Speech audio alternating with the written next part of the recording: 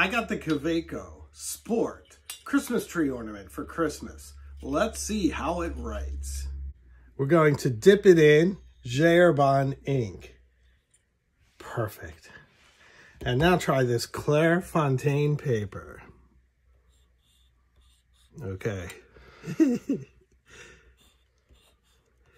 well, it doesn't write very well. Kaweco Sport Christmas tree ornament. Beautiful in the tree, not so great to write with.